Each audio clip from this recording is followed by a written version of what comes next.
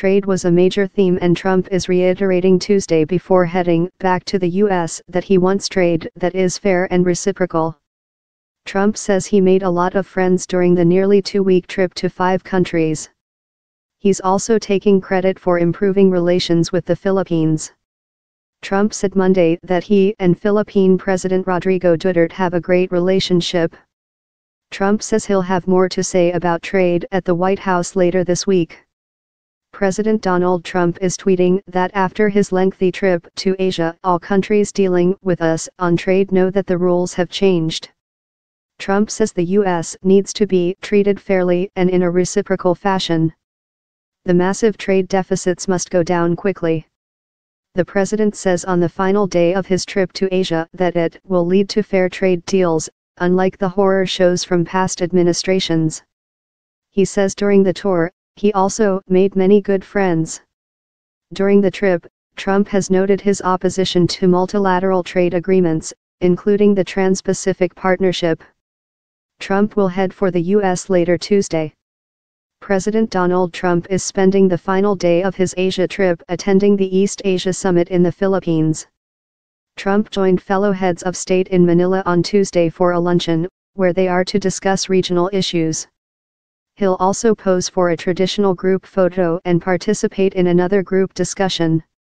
Trump's original schedule had him skipping the summit but he extended the trip after he was criticized for planning to miss the events. Trump heads for the U.S. later Tuesday. He'll stop in Hawaii so Air Force One can refuel before continuing to Washington. The U.S. and Philippine governments say President Donald Trump and Philippine President Rodrigo Duterte agreed to continue mainstreaming the human rights agenda in their respective countries during their meeting Monday in Manila.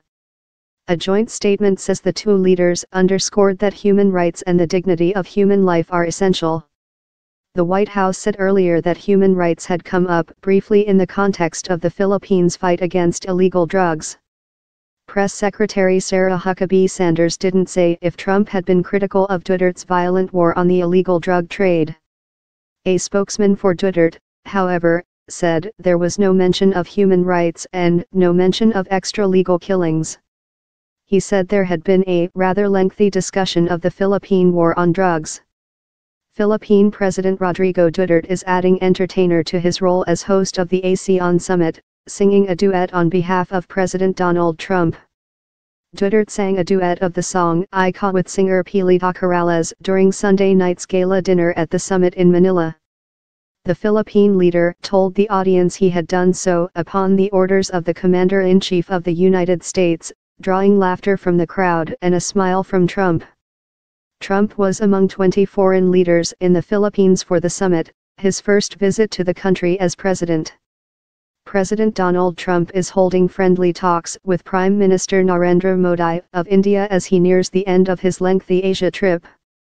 Modi says Trump has expressed a very high opinion of India in his travels. Trump was expected to attend a dinner with Australian Prime Minister Malcolm Turnbull at the end of the day. Trump was meeting Monday with Indian Prime Minister Narendra Modi and dining with Australian Prime Minister Malcolm Turnbull ahead of the East Asia Summit in Manila.